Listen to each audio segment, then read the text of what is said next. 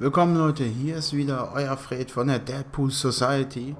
Es ist Freitag und das heißt, Xur ist wieder da. Yeah! So, Xur steht diese Woche im Turm. Ihr geht rechts lang zum Hangar. Und der steht unten in der, in der Disco, so nenne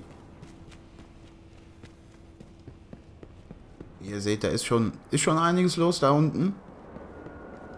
Wir werden äh, gucken, was hat er dabei und einzeln auf die Sachen drauf eingehen. Da hinten ist schon, ist schon Party. So. Gucken, was hast du dabei? Eine unüberwindbare Schädelfeste. Äh, ein Helm für den Titan. Sturmforce-Skills kennt etwas Gesundheit wieder Einstieg mit Nahkampfenergie. Pff ja. Geht so, ne?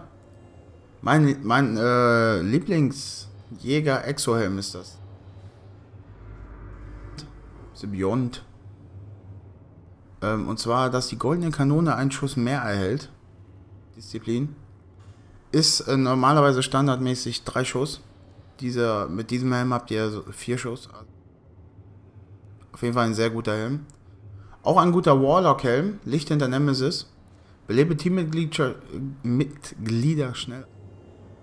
Teammitglieder schneller wieder. Ist für Osiris sehr, sehr wichtig. Erzeuge mehr Sphären, erhöhtes Nahkampf-Angriffstempo. Auch gut, ja. Und das ist der Knaller. Darauf haben wohl sehr, sehr viele Leute gewartet, dass Xur endlich mal das Jallarhorn verkauft.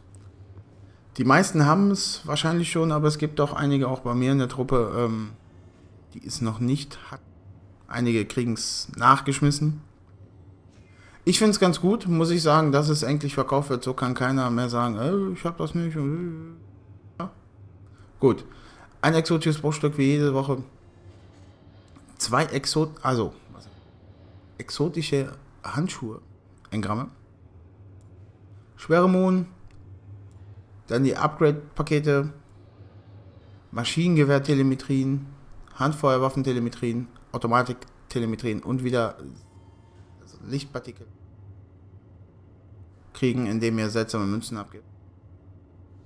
Ja, also, wie gesagt, solltet ihr auf jeden Fall machen. Kauft das durch. Es wird zwar gebufft im neuen DLC, aber es ist einfach bis zum neuen DLC. Das ist ein Monat ja, morgen, morgen ist es genau ein Monat.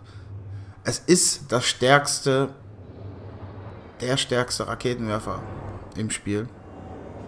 Und er sieht auch einfach vom Design her, sieht er.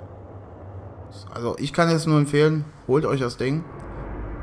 So, wenn euch dieses Video gefallen hat, lasst doch bitte einen Daumen oben, abonniert den YouTube-Channel.